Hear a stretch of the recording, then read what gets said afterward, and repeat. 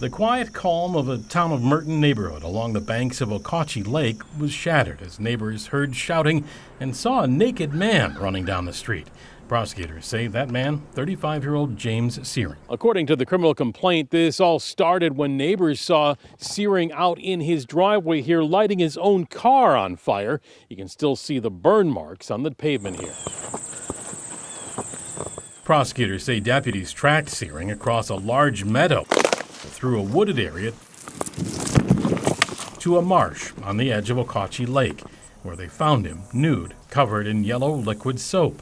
According to the complaint, he said he was there for a bath, was a licensed psychotherapist, and was, quote, pretty much an expert in magic.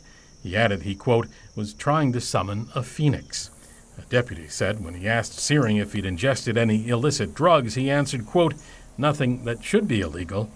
Searing's parents told deputies he'd recently moved back home from Chicago and had started a, quote, psychedelic therapy counseling service online.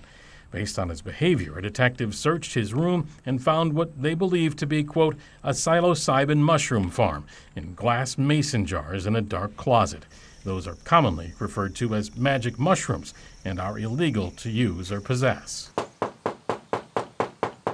No one answered at the house today. The incident took place in May of 2022, but was just charged this week after drug testing, including charges of lewd and lascivious behavior and attempting to manufacture and traffic those illegal mushrooms. In the town of Merton, Nick Bohr, WISN 12 News.